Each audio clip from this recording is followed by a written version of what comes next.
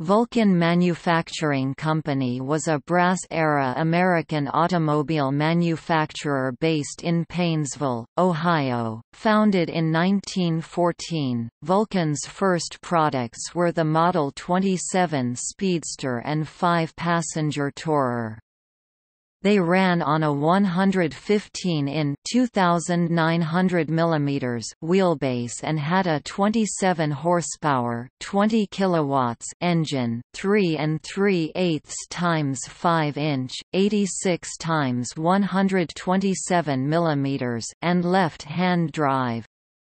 The Speedster was $750, the Tourer $850, compared to $650 for the high-volume Oldsmobile Runabout $500 for Western's Gale Model A and Ford Model N, $485 for a Brush Runabout, as low as $375 for the Black, and $250 for the Success. The Vulcan Power Wagon truck was produced circa 1915, at least some under license by Driggs Seabury, and was rated at 3 to 7 tons depending on model.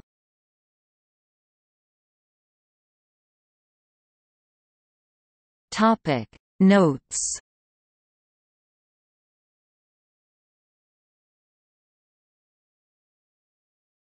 Topic Sources Clymer, Floyd 1950.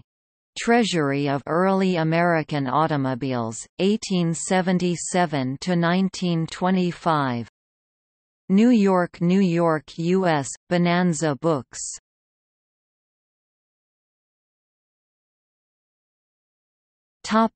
See also List of automobile manufacturers List of defunct automobile manufacturers. Motor vehicle manufacturers based in Ohio